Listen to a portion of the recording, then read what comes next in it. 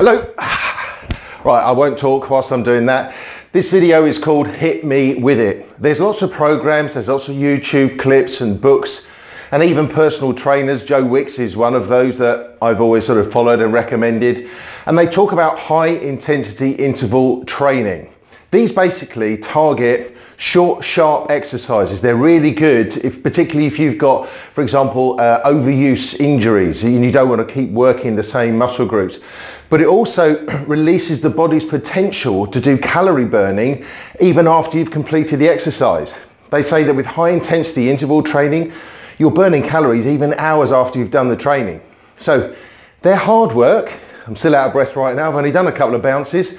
In recruitment, particularly when we first start, we've got to put in the hard work. And what you also might need are some high intense, maybe recruitment training just to get you going.